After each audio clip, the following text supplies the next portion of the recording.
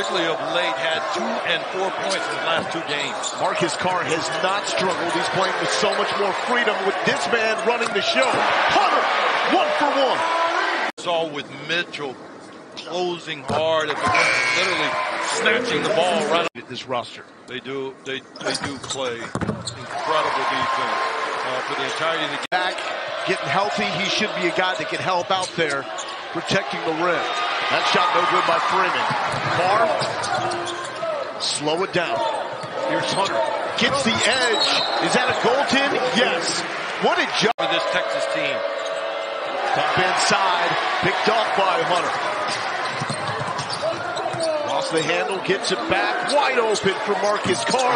He knocks it down, and the just shooting 38.5% coming into this game. Still looking for that offensive groove. There's the groove in a dunk by just to show you they can make shots, but that's not the guy you want to do it with. He's shooting coming into the game about 40% from beyond the arc. He's a one guy for Texas. He and Carr really are the, the uh, being the other one. You don't want to give them clean looks from distance. So first half PT for Alex and Medway as that is Disu. At least a year to get fully back, but that's a great luxury to have someone who can clean up those blow-bys at the rim, their ability to block shots.